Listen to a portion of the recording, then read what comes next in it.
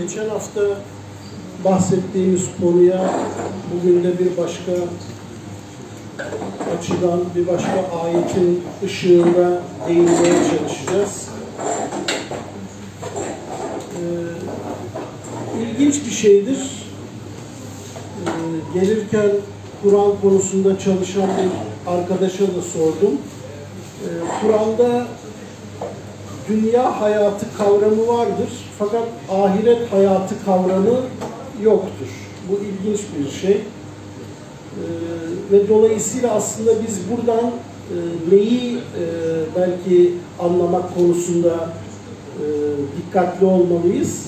Aslında dünya hayatı bizim çokça kelime olarak kullandığımız dünya hayatı denen hayat dünyada yaşadığımız hayat anlamına gelmemektedir. Yani biz dünya hayatı deyince dünyada yaşadığımız hayat, ahiret hayatı deyince de işte öldükten sonra e, ahirette yaşayacağımız hayat gibi bir kavramı veya bir anlayışı e, çoğunlukla düşünüyoruz. E, bu benim çok önceleri de dikkatimi çekmiş bir şeydir. Yani dünya hayatı kavramı Arapça ifadesiyle hayate dünya e, aslında e, dünya kelimesini e, doğru bir şekilde değerlendirdiğimizde daha bir açıklık kazanacaktır. O da nedir? Dünya deni aşağıda olan, düşük olan, e, gölgeli olan gibi anlamlara gelir. En temelde e, temel anlamı aşağıda olan, bir şeyin aşağısında olan. Bunu ben şöyle tarif etmeyi e, anlaşılır buluyorum. E, insanın psikolojik melekeleri var, bedensel melekeleri var ve bir de spiritüel melekeleri var. Yani ruhsal melekelerimiz var, bir de bedensel ve psikolojik melekelerimiz var. Eğer hayatı spiritüel, ruhsal melekelerimiz, varlığımız, idrakimiz, e, ruhun aklı, ruhun duygusu diyebileceğimiz e, ruhani melekeler üzerinden değil de bedensel ve psikolojik melekeler üzerinden ve onları da sağlıksız bir biçimde kullanmak durumunda olarak bir hayat yaşıyorsak bu deni bir hayattır. Yani düşük bir hayattır. Ee, hayatı gerçek düzeyinden daha aşağıdaki bir düzeyle yaşamaktır. Yani bu e, tırnak içinde e, 8-10 boyutlu bir hayatı veya bir filmi diyelim, öyle bir film düşünün diye ki 10 boyutlu bir film. Siz bunu iki boyutlu olarak izliyorsunuz ve diğer boyutlarının farkında değilsiniz. Ve o iki boyutu üzerinden filmi tanımlıyorsunuz. Bu tıpkı bir insanın resmi üzerinden algılanmaya çalışılması gibidir. Ee, bir meyvenin resim üzerinden anlaşılmaya çalışılması gibidir. Dolayısıyla burada dikkat etmemiz gereken temel nokta dünya hayatı kavramının yeryüzündeki hayat olmadığını anlamaktır. Yani e, Allah dikkat edersek hayatel arz demiyor. Yani arzdaki hayat demiyor burada. Ve Kur'an'da bu çok kullanılan bir ifadedir. Hayatel dünya, dünya hayatı. Bu aslında bir sıfat tamlamasıdır. Buradaki dünya hayatındaki dünya kavramı bizim genelde e, tanımladığımız coğrafi bir küreyi tarif etmemektedir. Bunu özellikle bu gözle e, bu ayetleri e, okumanızı tavsiye ederim. Bu yüzden de biz e, bu kavramı bu şekilde yorumlamadığımızda ya işte dünya hayatı bir oyundur diyor Kur'an-ı Kerim. İşte dünya hayatı şöyledir diye da yani hem oyundur diye o zaman bu oyunu niye oluşturmuşsun, ne gerek var? Biz oyuncak mıyız gibi hikayelere kadar gidiyor. Ama dünya hayatı kavramını insanın bedensel ve psikolojik melekelerinin üzerinden yaşanan hayat olarak algılarsak yani ne demek istiyoruz? Varlığımızı, değerimizi, kimliğimizi, yaşadığımız olgular üzerinden tanımlıyorsak, mesela başarılı mısın, başarısız biri misin? İşte şunu elde edebildin mi, edemedin mi? Şuna sahip olabildin mi, olamadın mı? Seviliyor musun, sevilmiyor musun? Anlaşılıyor musun, anlaşılmıyor musun? İşte e, bedensel olarak genç misin, yaşlı mısın? İşte istediğin, arzu ettiğin şeyleri tırnak içinde bu dünyada gerçekleştirebildin mi, gerçekleştiremedin mi? İçinde ne tür arzular e, boynu bükük kaldı? Ne tür korkular taşıyorsun? Bu çerçeveden hayatı algılarsak o zaman işte bu Kur'an'ın bize hatırlattığı deni hayat yani dünya hayatı. Buradaki dünya kavramının bir yer küre anlamı taşımadığını kesinlikle kendimize hatırlatmamız gerekiyor. Bu gözle zaten bakarsak aslında bu meselenin çok açık olduğunu görebiliriz. Bu konuda e, önemli bir ayet var. Bilin ki ayet i'lemu diye başlıyor. Yani bilin. Buradaki ilim kavramı yani insanın hani görmüyor musunuz ki işte e, dikkat etmiyor musunuz gibi gibi bir ifade değil. Bu ne demek? Bu hani gözünüzle bakarak işte beş duyunuzla algılayarak idrak edeceğiniz bir şey değil. Evet onlara da ihtiyaç var. Tabii ki beş duyunuzu kullanacaksınız ama bu beş duyuyu kullanarak bilinecek, ilmen bir ilim olarak idrak edilecek bir şey değil. O yüzden ayet diyor ki bilin ki diyor. Yoksa görün ki demiyor. Görmüyor musunuz ki demiyor. Çünkü eğer mesele beş duyumuza, gözlerimize bırakılırsa e bakıyoruz, işte yaşıyorsun, bir yere geliyorsun, sonra yaşlanıyorsun, sonra işte çoluk çocuk oluyor vesaire bir şeyler oluyor, bitiyor. Sonra diyorsun ya biz ne yaşadık ya? Hani hayat işte bir anda geçip gitti. Bir rüya gibi geçip gidiyor. Yaşım olmuş 30, 40, 50. Böyle geçiyor işte. Sanki bir oyun gibi görünüyor. Tabii ki 18, 20, 30 yaşlarındakiler pek bunu hissetmezler. Ama böyle 50-60'a falan geldiğinizde yani sanki dünya hayatı hakikaten bir oyunmuş gibi algılayabilirsiniz. Çünkü beş duyunuza ve zahiri mantığınıza öyle görünür. O yüzden ayet diyor ki İ'lemu yani bilin ki bunu bilmeniz için gerçekten dikkat etmeniz, gerçekten bu işin iç yüzüne dair, derinliğine dair bir bakışınız olması gerekir. Bunu yapmazsanız o beş duyunuz ve zahiri aklınız, mantığınız sizin bunu anlamanızı büyük oranda engelleyecektir. Hatta eğer onlara çok fazla itibar ederseniz işte hayat böyle bir şey. Yani işte yaşıyorsun atıyorum deprem oluyor, ölüyorsun. Ne ev kalıyor, ne evlat kalıyor, ne şu kalıyor, ne bu kalıyor. Böyle bir kala kalıyorsun. Ne oldu şimdi? Ne anladık buradan değil mi mesela? Tırnak içinde dikkat edin. Bu gibi şeyler insan zihninde çoğunlukla ya dini argümanlarla kendimizi rahatlatmaya bizi götürür veya işte Allah büyüktür, vardır bir hikmeti deyip böyle yumuşak geçiş yaparız. İki hafta sonra da unuturuz. Veyahut da ya şimdi biz ne yaşadık ya? Bir saçmalık gibi böyle bir kala kalmışlık gibi. Böyle saçma sapan bir durumun ortasında kalmışsın ve bir türlü anlam veremiyorsun. Çünkü işte yaşayacaksın, çoluk çocuk, evlenecekler, torunlar olacak, bir sürü hikaye olacak vesaire. Sen de hiç böyle fazla ihtiyarlamadan tatlı bir şekilde e, hani ölmesen daha iyi olur. İnşallah bilim adamları da ölmemeye dair çözümler bulursa çok daha fevkalade bir şey olur.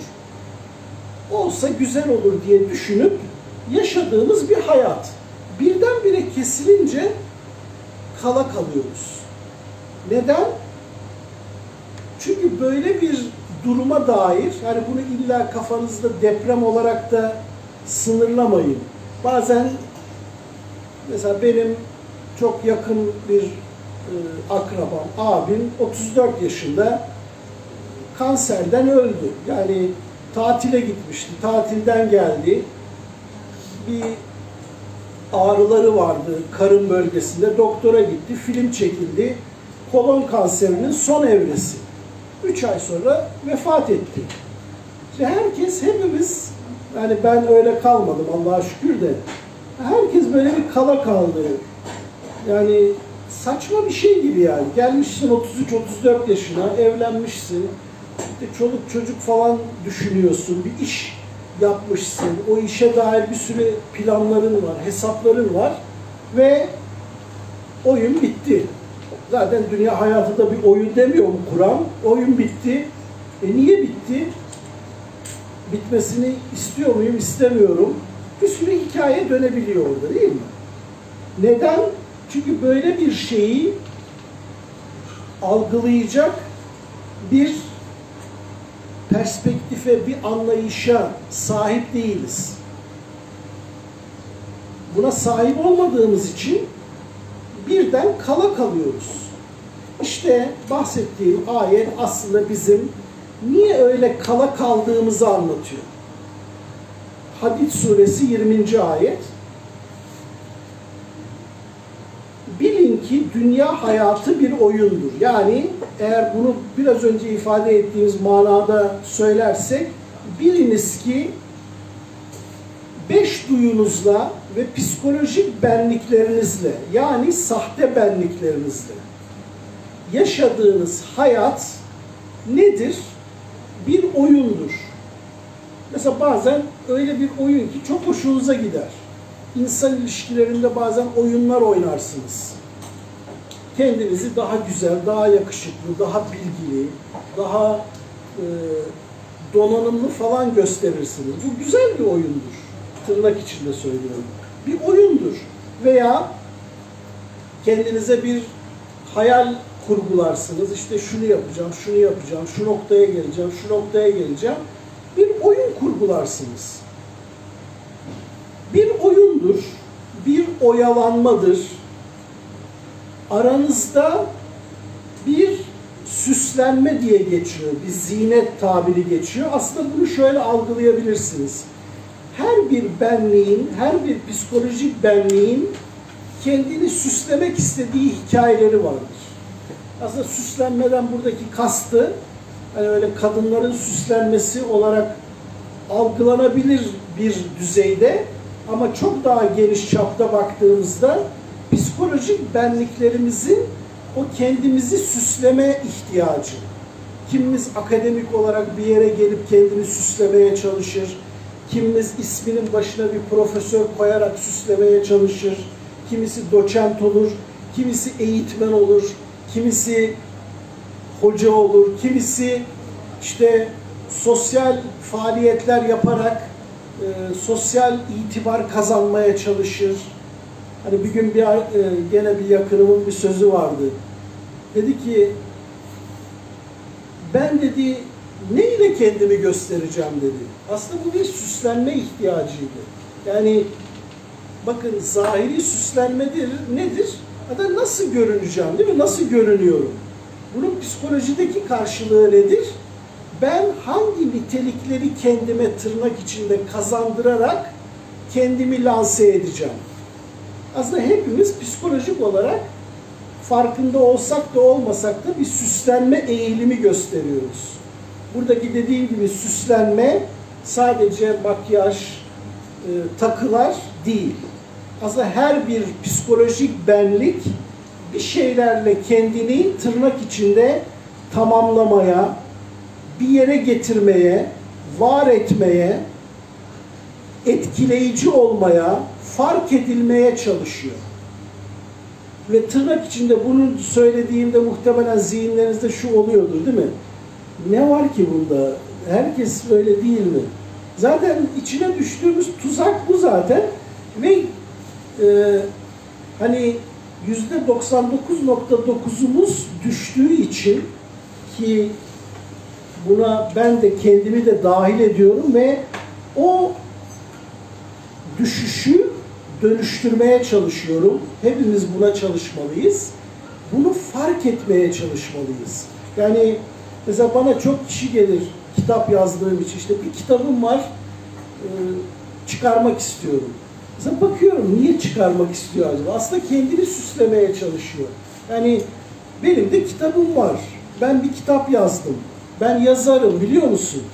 Aslında bu nedir? Süslenmedir arkadaşlar. Her birimiz farkına varmadan sahte bir benlik tarafından bakın sizi suçlamıyorum. Bunu asla öyle algılamayın.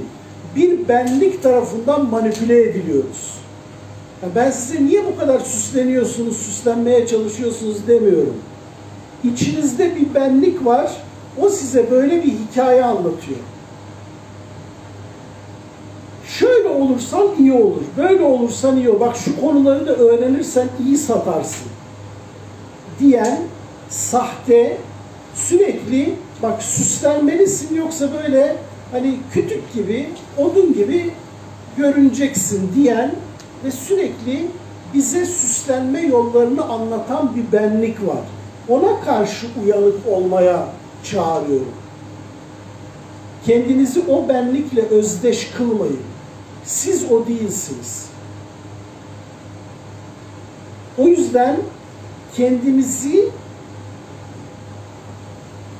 kendimiz olmayan benlik algılarına karşı uyanık tutmalıyız. Çünkü eğer onları kendiniz zannederseniz ya kendinizi suçlamaya, yargılamaya, işte ne kadar berbat biriymişim, ben rezil insanın tekiymişim, nereden tutsan elinde kalıyor. Her şeyi bir şey için yapıyormuşum demeyin. Bu yanlış bir şeydir. Dikkat etmeniz gereken şey sizin onlar olmadığınızdır. Bu asla bir şey yapmak, çalışmak, çabalamak, eğitim almak, okumak yanlıştır anlamına gelmiyor. Dikkat edin. Ama ben kendimi onlarla tanımlamaya başladığımda problem başlıyor. Bakın hiçbir şeyim olmayabilir. Mesela bir deprem olur, her şey yıkılır. Ne kitapların kalır, ne bilgisayarın kalır, ne birikimin kalır, hiçbir şey kalmaz. Şimdi orada bir bak bakalım. Ben kendim dediğin şey ne oluyor? Yerinde duruyor mu? Yoksa tırnak içinde her şeyimi kaybettim noktasına mı geliyor? Bütün süslediğin şeyler gitmiş mi oluyor? Buna dikkat etmemiz gerekiyor. Yoksa şu yeryüzü hayatında iyi, doğru ve güzel eylemlerde bulunmak yanlış bir şey değildir. Ama bunların üzerinden kendinizi inşa etmek problem alanıdır. Evet, ayeti baştan alıyorum.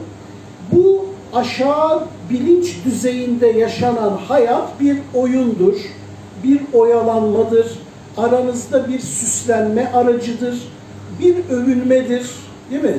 Ben senden iyi biliyorum, ben senden iyi yapıyorum, ben senden daha başarılıyım, becerikliyim, yeterliyim, üstünüm vesaire gibi birçok hikaye dönebiliyor değil mi? Bunları herhalde bu ayeti okuduğumuzda zihnimizde bir şeyler çağrışıyor değil mi arkadaşlar? Mesela övülen kim? Hani işte tabii ki övüneceğim diyeni de görün orada değil mi? O kim övünüyor? Tabii ki övüneceğim. tabii ki böyle şeylerim var. Ben boş konuşmuyorum ki. Ben bu konuda çok bilgiliyim diyen, ben bu konuda çok yeterliyim diyen, ben hayatta birçok şeyler başardım diyerek bunun üzerinden övünmek isteyen, değil mi? Bunları hep hatırlamaya ihtiyacımız var. Bir süslenmedir, bir övünmedir. Mallarda ve çocuklarda ço- çokluk yarışıdır. Mesela hanginiz çocuğunuzun çok tırnak içinde başarılı, neyse o başarı atıyorum, akademik olarak çok iyi bir yere gelmesiyle gelmemesini kendi varlığı açısından eşit görür. Ya bunun benimle direkt bir ilgisi yok. Ama bakın her birimiz kendi çocuğumuzla ilgili ne hayaller barındırıyoruz değil mi? Şöyle olmalı, böyle olmalı. Olmadığında rahatsız oluyoruz. Mesela düşünün çocuğunuz Nuh'un oğlu olsa ne yapacaktınız değil mi? Hele böyle çok iyi dindar bir Müslümansınız. Müslüman bir baba veya annesiniz. Çocuğunuz iman etmiyor. Hatta muhalefet ediyor. Hatta dalga geçiyor. Ben dağlara sığınırım. Ya sen ne hikaye anlatıyorsun? Bir dağ başında bir gemi yapmışsın. Saçma sapan bir mesajın var. Ben buna inanmıyorum dediğinde Hazreti Nuh gibi bir yerden mi bakıyorsunuz? Gerçi ona biz ehlini kurtaracağız denildiği için o ya ya Rabbi ehlimi kurtaracak olduğunu söylemiştin. E, oğlun inanmıyor ve gemiye binmiyor. Ayet diyor ki o senin ehlinden değil diyor. Bunu kime söylüyor? Ehlinden olduğunu zanneden egoya söylüyor. Peki orada çocuk Nuh'un çocuğu değil mi? Evet onun çocuğu. O zaman eh, ehil olmak veya aynı ehildeniz, aynı noktada birleşiyoruz. Kime diyeceğim? Kocama veya karıma mı? Çocuklarıma mı? Torunlarıma mı? Değil mi? Dolayısıyla bakın burada bizim çok güçlü özdeşleşmelerimiz var. Mesela mallarda ve çocuklarda bir çokluk yarışıdır. Ya bu sadece buradaki çokluk yarışı benim 10 tane çocuğum var, benim 24 çocuğum var falan hikayesi değil. Onlara dair bir şeyle övünmeye çalışıyorsunuz. Onlara dair bir çokluk arayışınız var. Benim çocuğum çok iyi okudu. Benim çocuğum çok iyi kazanıyor. Benim çocuğum çok ahlaklı, çok dürüst. Ama dikkat edin, bunu kendinizden bağımsız bir şekilde analiz etmiyorsunuz.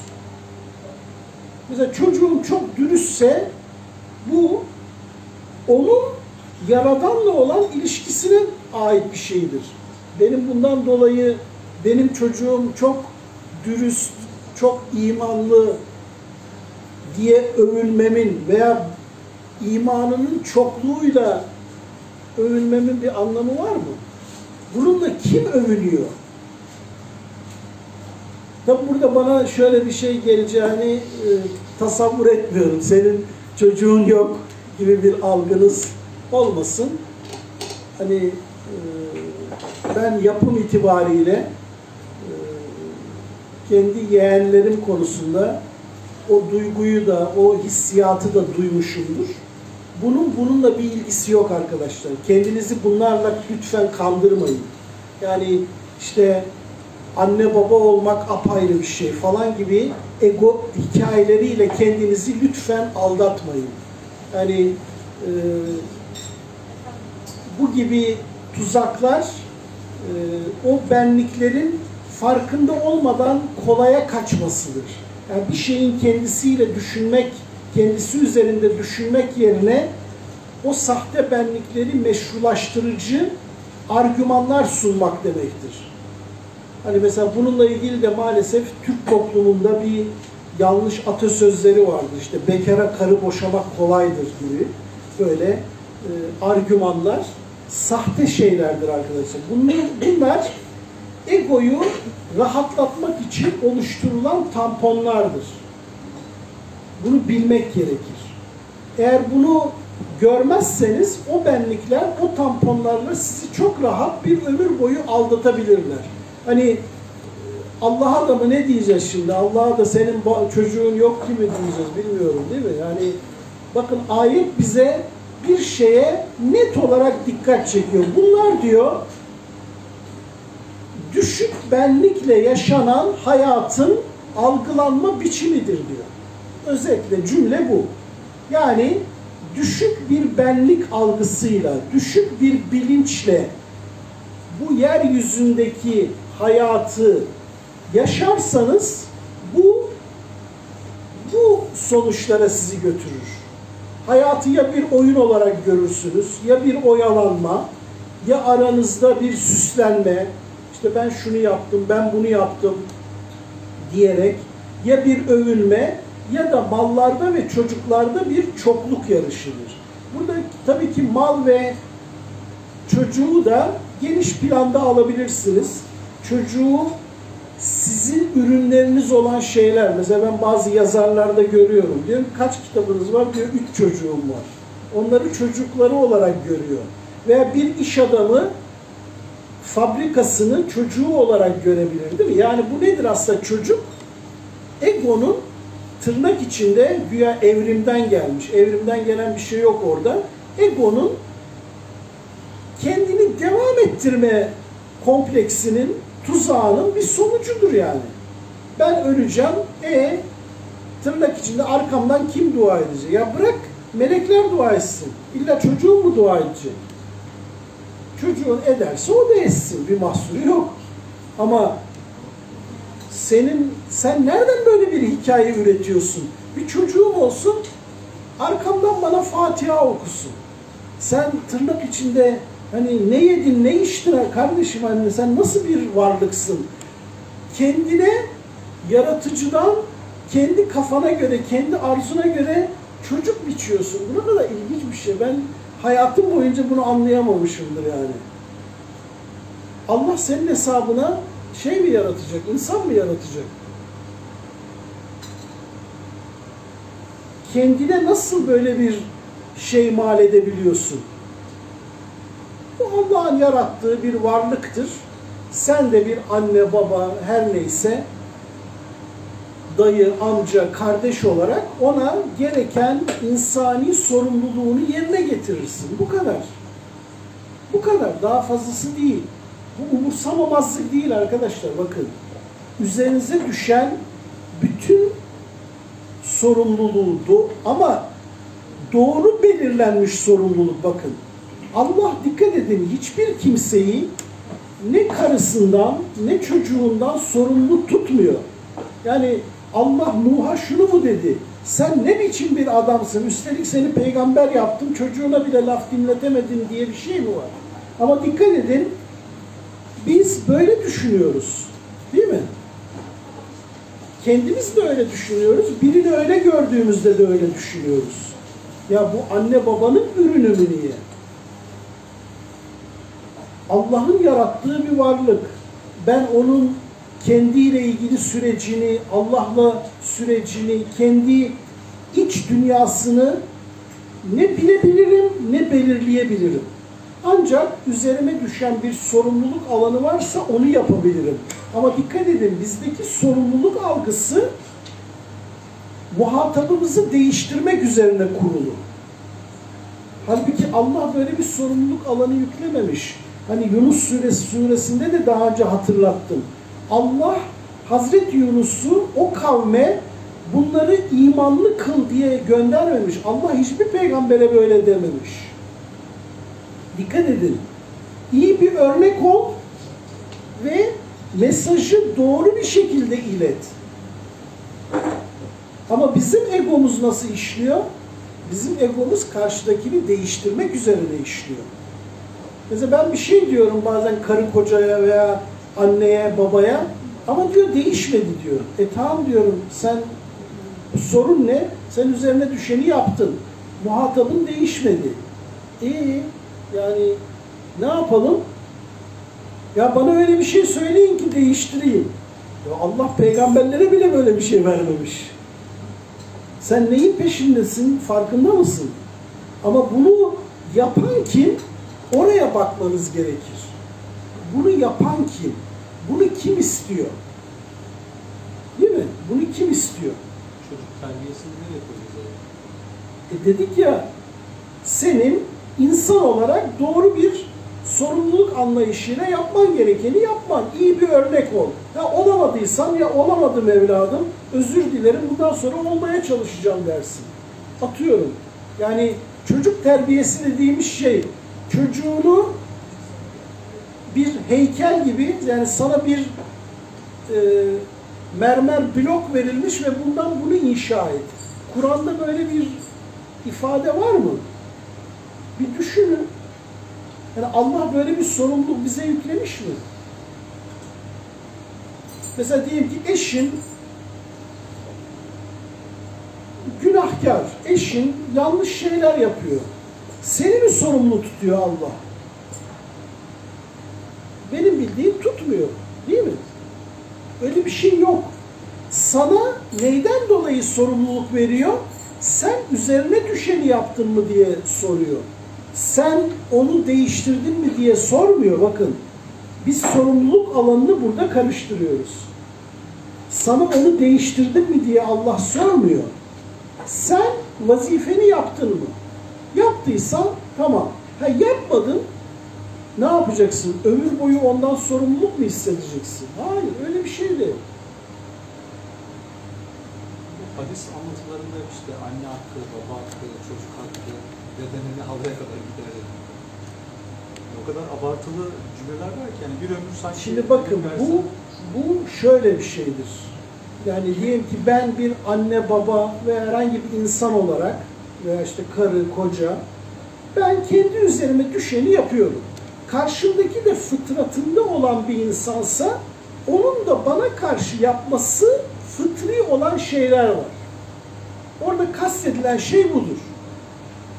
Ama karşımdaki insan fıtratından uzaklaşmış olabilir, yanılabilir, gaflete düşüyor olabilir.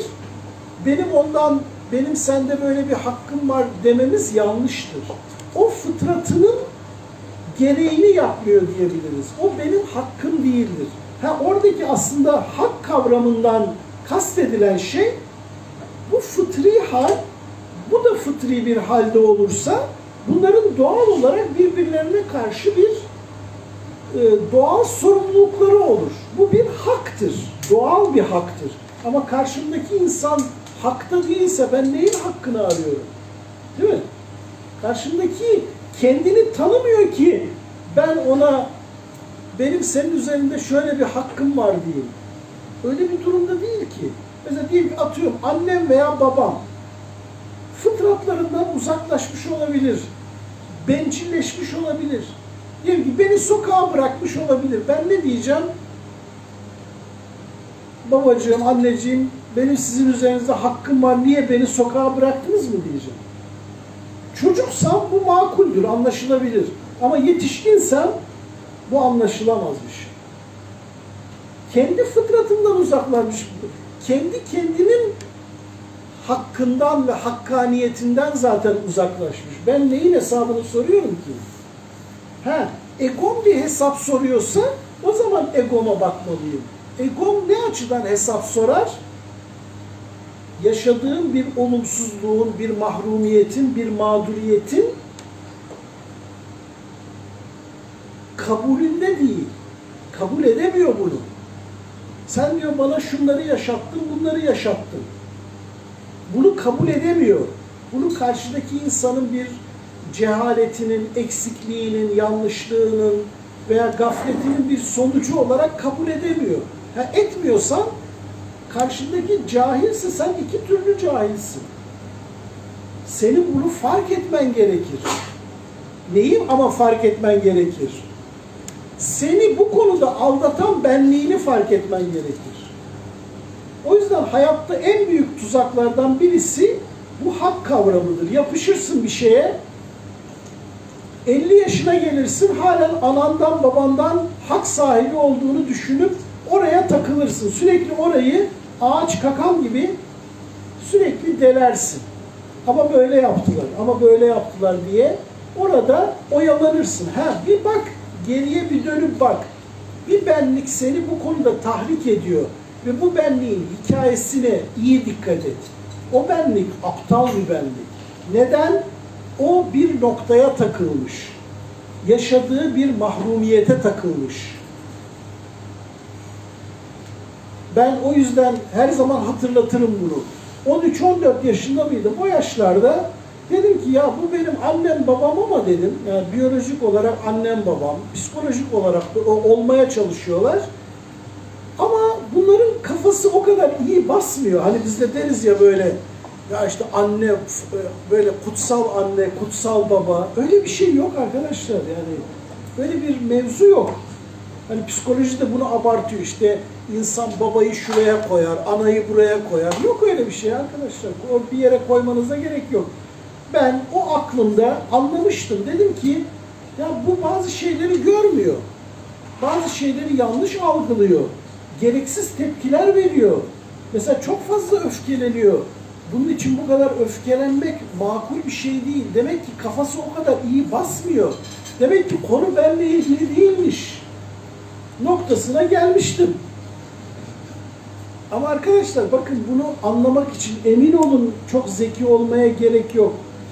Ha, herkesin bunu algılama yaşı değişebilir ama tezelden bu gibi şeyleri fark etmek zorundayız.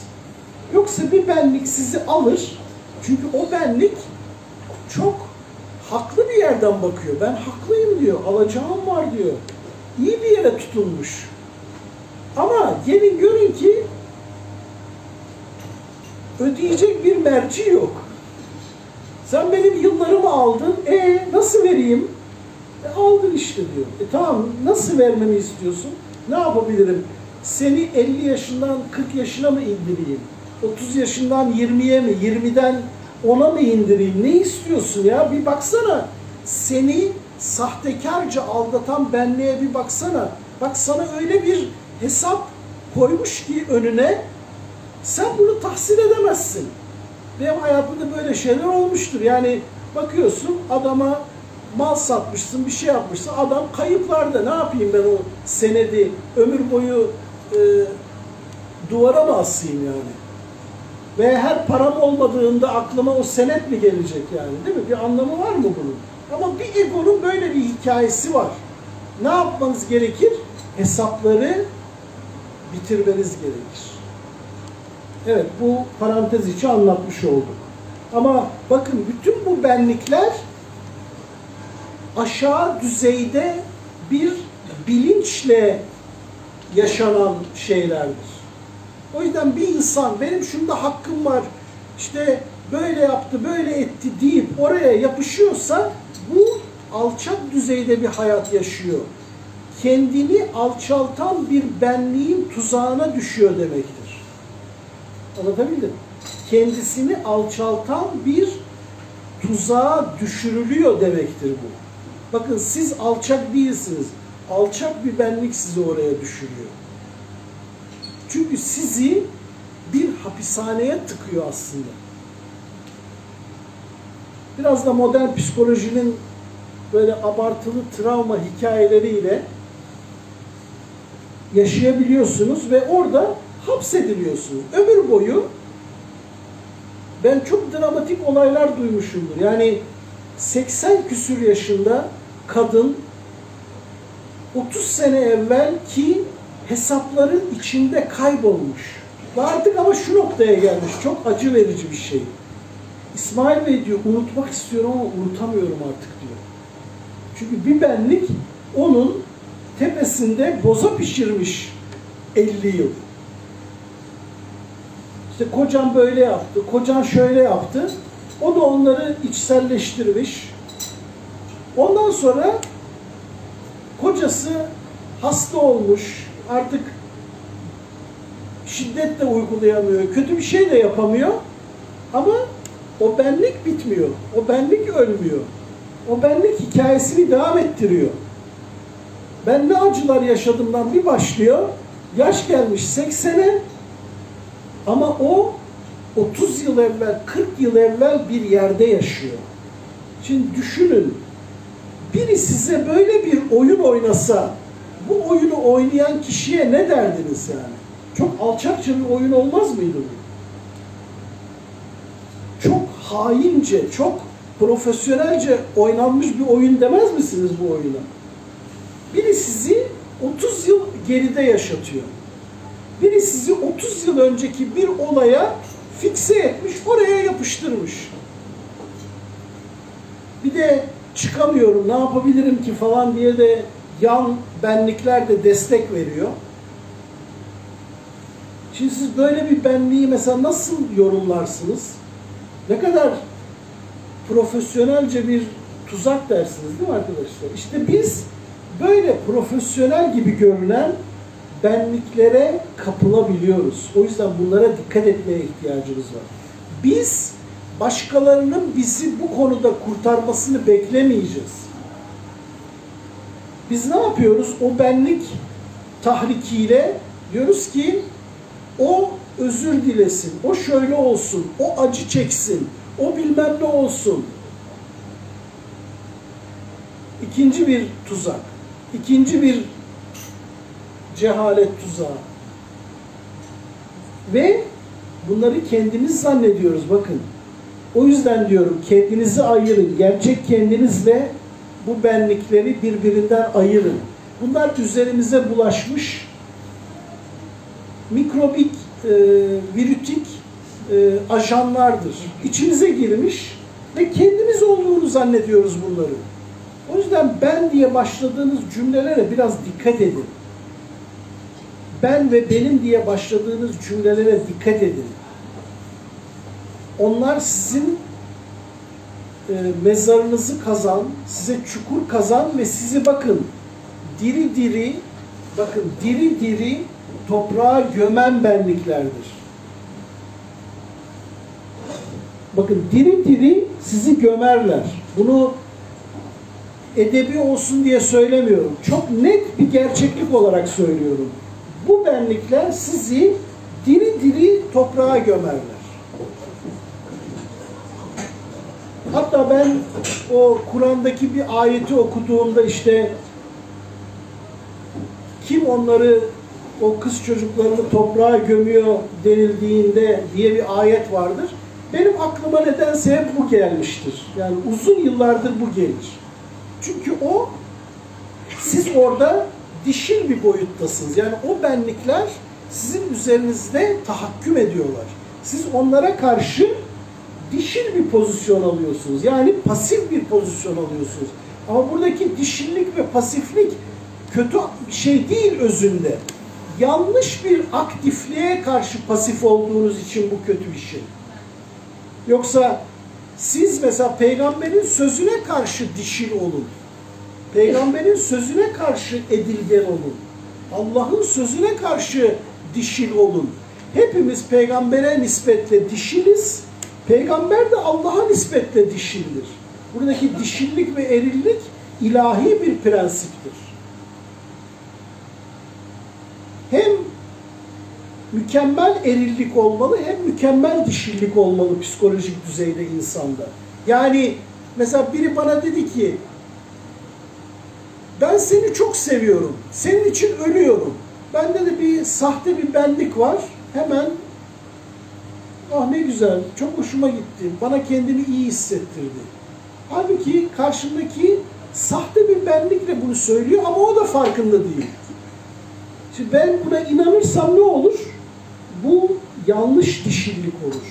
Yani yanlış bir şeye kendimi açmış olurum. Yanlış bir şeye karşı kabullenici davranmış olurum. Mesela bir insan size dese ki sen olmasan yaşayamam. Ben Allah selamet versin, yolun açık olsun demem lazım. Aa bak ben olmadan yaşayamıyor. Ne kadar bana kendimi çok iyi hissettiriyor falan mı diyeceğim. Öyle dersem öyle dersem ister erkek olayım ister kadın. Bu bahsettiğimiz şey cinsiyet üstü bir şeydir. Orada ben sağlıksız dişillik sergilemiş olurum. Çünkü karşımdaki kendini bilmeyen bir insan, kendini bilmediği için ben sensiz yaşayamam diyor. E ben de bunu bir doğru gibi kabul edip buna karşı edilgen bir tavır sergiliyorum. Aa diyorum ki o bensiz yaşayamıyor. Bu da sahte bir egonun hoşuna gidiyor. Oradan hikaye devam ediyor. Buna dikkat etmem gerekiyor. Ama bakın neye dikkat etmem gerekiyor? İnsanlara değil. İçeride kim bunu nasıl algılıyor? İçeride sahte benlikler tarafından mı ben bunu algılıyorum?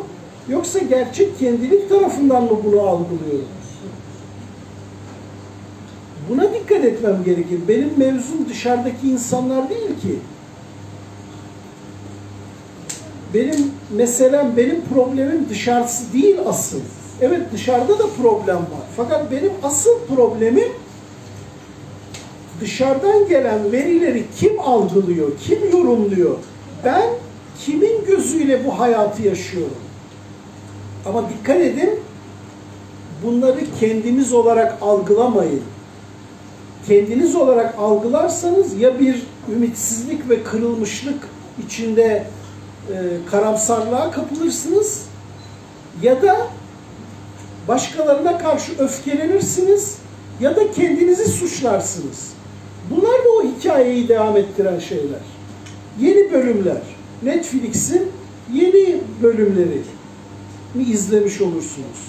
O yüzden asla karamsarlığa, ümitsizliğe kapılmayın. Asla kendinizi suçlamayın. Onlar sizi hataya sürükleyen benliklerdir. Siz onlar değilsiniz ama onlar zannetmişsiniz kendinizi. O yüzden tövbe eden günah işlememiş gibidir. Neden? Çünkü günah işleyen ben değilim. O sahtekar benlikler. Ama ben onları olaylamışım. O yüzden suç ortaklığı gibi olmuş oluyor. Onu bıraktığımda suç da yok, ortaklık da yok. O yüzden tövbe eden günah işlememiş gibidir. Bu böyle hani güzel bir söz, bir böyle ümit verici bir şey anlamında almayın bunu. Bu bir hakikattir. Çünkü siz size yanlış düşündüren, yanlış hissettiren, yanlış hareket ettiren benlikleri fark edip onları bırakırsanız, bırakmaya niyet ederseniz o zaman siz o benlikler nedeniyle yaptığınız hataların öznesi olmazsınız. O yüzden bakın affetmenin altında yatan şey de budur. Mesela bizde ne vardır? Biri bana şöyle yaptı mı affetmem. Bakıyorum çok büyük bir şey de diyor. Değil yani. Mesela işte yanıltmış onu veya haklı olduğu bir konuda ona sen haklısın dememiş. Bunu öyle büyük bir ihanet, öyle büyük bir yere oturtuyor ki ya o onun bir benliği. Belki korktuğundan demedi. Belki bir menfaati gidecek diye bir benliği onu engelledi. Senin haklı olduğunu söylemedi yani. Sen şimdi o insanı o benlikle mi tanımlayacaksın? O benlikle tanımlarsan ömrün boyunca hiçbir zaman affetmezsin. Melek olduğunu görsen dersin ki benim gözümde o şeytandır dersin. Neden? Çünkü aşağı düzeyde bir benlik tarafından algılıyorsun. Fil tarihinde bir şey yapmış, onu yaz, yazmış o benlik ve asla o silinmiyor.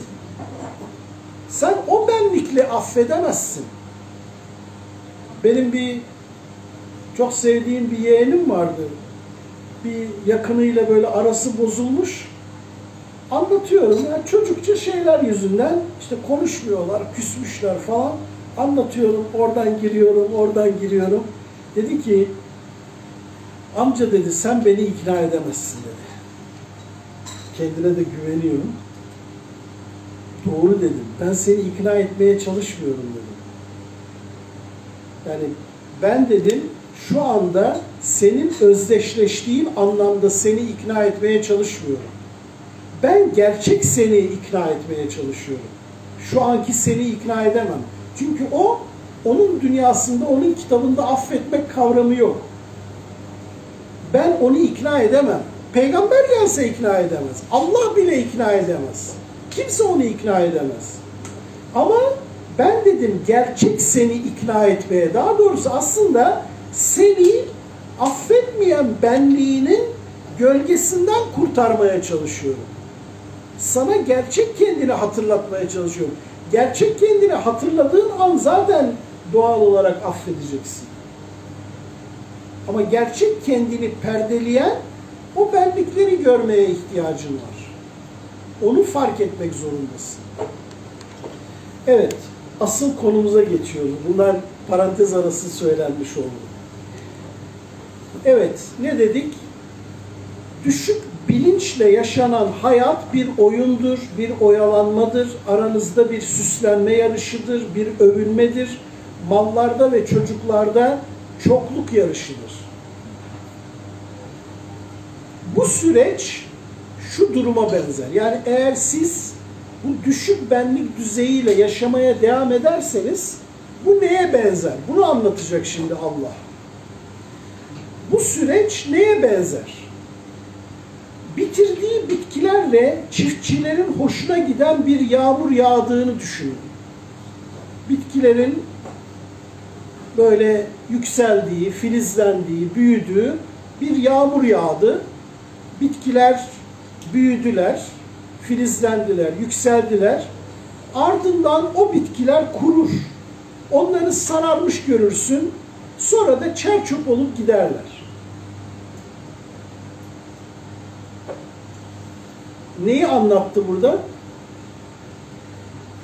Düşük düzeyli bilinç üzerinden yaşadığın hayat budur.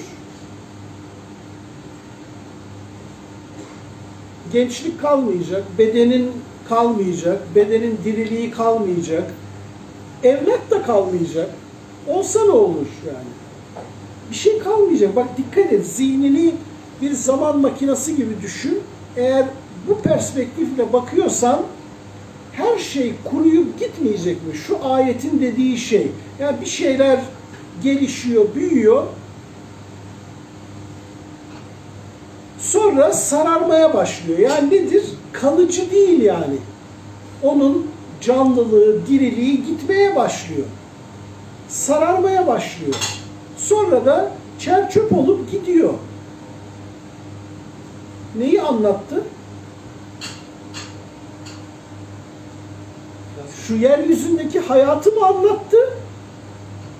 O yanlış bilinç düzeyinden bakmanın hikayesini mi anlattı?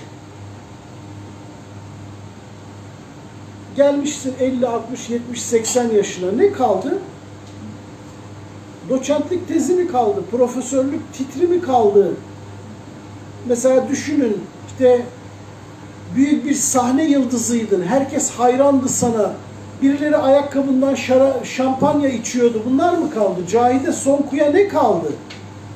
Fatma Gire'ye ne kaldı? Bir düşünün değil mi? Eğer o gözle bakarsak baştan söyleyeyim arkadaşlar hiçbir şey kalmıyor kusura bakmayın. Yani kötü bir haber olarak algılayabiliriz ama gerçekten hiçbir şey kalmıyor. Ama nereden bakarsanız kalmıyor, düşük düzeyli bir bilinçle yaşarsanız kalmıyor.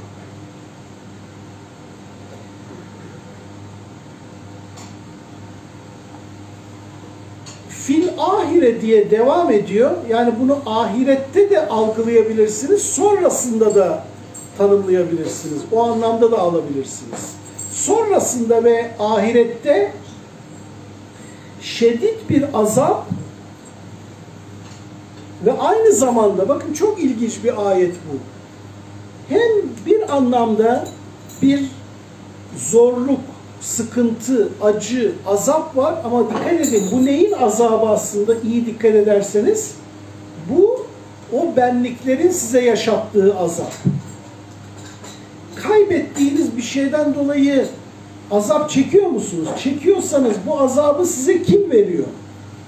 Bakın biz böyle çok fazla işte Allah imtihan ediyor, Allah imtihan ediyor. Allah imtihan etmiyor. Hanginiz daha güzel amelde bulunacak? Bu ortaya çıksın diyor. Yani bir şey değil bu. Yani bir bakayım siz ne kadar üçkağıtçısınız, ne kadar değilsiniz gibi bir şey değil. Sizin bu dünyadaki bilinç düzeyinizin farkındalığı üzerinden hareket edip etmediğinizi görmeniz için kendi kendinize bunu göreceksiniz. Yani Allah bir kimseyi imtihan etmiyor burada. Mesela diyelim ki bu bardak düştü ve kırıldı. Şimdi benim kalbim bundaysa ne kadar acı çekerim değil mi? Bardak diyeceksin nedir ki? Mesela 100 bin dolarım var, gitti, kayboldu, çalındı. Çok güzel bir kadınsınız, sabah bir kalktınız, yüzünüzün bu tarafı böyle mosmor olmuş ve doktora gidiyorsunuz, diyor ki bu genetik bir şey ve değişmez. Hadi bakalım. Ne düşünürsünüz, ne hissedersiniz? Sahip olduğunuz şeyler, bazen bakıyorsunuz birinin hesabı hackleniyor, bunalıma giriyor değil mi? İleride psikoloji bunlara da travma diyecek. Diyecek ki mesela sosyal yaşamda hesabını kaybetme travması. Böyle travmalar olacak. Neden? Çünkü senin kalbin orada, senin varlığın orada, senin kimliğin orada. Senin varlık dediğin şey orada. Ona bir şey gelince, onun başına bir şey gelince ne oluyorsun? Çöküyorsun. Sonra da diyorsun ki Allah insanı imtihan ediyor. Vallahi imtihan etmiyor. Yemin ediyorum etmiyor. Kendi inancım bu. Allah imtihan etmiyor. Allah senin önüne farklı farklı durumlar sunuyor. O kadar. Düşünün peygamber vefat ettiğin, peygamberin çocukları vefat ettiğinde Allah peygamberi imtihan mı ediyor? Yok. Onu, onu bir şeyler yaşatıyor. O da kendi fıtratıyla cevap veriyor. Bu kadar. Kim bunları imtihan olarak algılıyor? Bunların üzerinden kendini tanımlayan benlik imtihan olarak algılıyor. Allah bizi çok imtihan ediyor. Bakın bunu ne kadar çok kullanıyorsanız o kadar çok benliğiniz vardır. Bunu açıkça söyleyeyim. Bunu ne kadar kullanıyorsanız gerçeği o kadar kaçırıyorsunuz ve sizi uyutan o kadar çok benliğiniz var demektir. Orada dememiz gereken şey şu. Ben şu anda neredeyim? Kendimde miyim? Benliklerde miyim? Kendimde miyim? Benliklerde miyim? Soracağım temel soru bu. Yoksa bu çok büyük bir imtihan. Yanlış bir yerden bakıyorsun. Ben neredeyim? Kendimde miyim? Psikolojik benliklerde miyim? Buraya bakacağım. Oradan bakarsam meseleyi doğru anlarım. Ve bakın ayet diyor ki şiddetli bir azap da Allah'ın rızası, hoşnutluğu ve mağfireti, bağışlaması da vardır. Yani dikkat edin, siz bu süreci yani bu aşağı düzeydeki bilinç üzerinden yaşarken eğer buradan çıkma arzusu içinde olursanız bir zorluk, bir sıkıntı, böyle azapmış gibi olan haller yaşarsınız. Ya bu çok acı, bu çok kötü, bu çok zor diyebilirsiniz. Fakat mevzu orada bitmiyor. Neden? Çünkü Allah'ın rızası, hoşnutluğu ve bağışlaması ve seni o benliklerden koruması vardır. Ama sen yeter ki doğru bir istikamette ilerle. Bir gün bir bakacaksın ki eskiden seni yerle bir eden olaylar artık olabilir yani. Bu benim problemim değil. Diyelim ki biri sana 30 yıllık arkadaşın sana vefasızlık yaptı. Bir gün böyle bir durum vardı. Yani biri dedi ki ya böyle hani göğsümde kocaman bir böyle havan topu atılmış da öyle bir delik açmış gibi hissediyorum diyordu mesela. Şimdi niye böyle hissediyorsun? Niye böyle hissediyorsun? Bir düşün.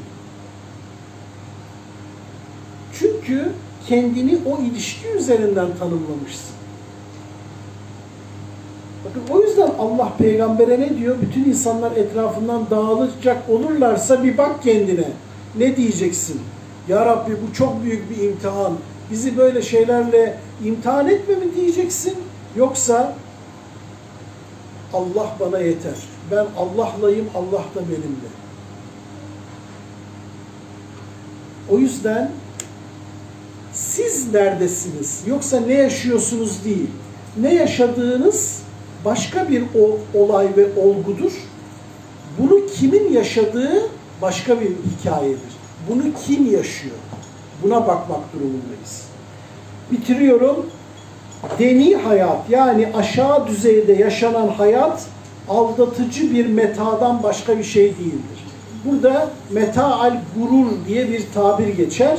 Yani aldatıcı bir e, şey, aldatıcı bir e, herhangi bir şey, meta, e, tadılan, e, kendisiyle etkileşilen bir şey. Ama ne? Aldatıcı bir şey.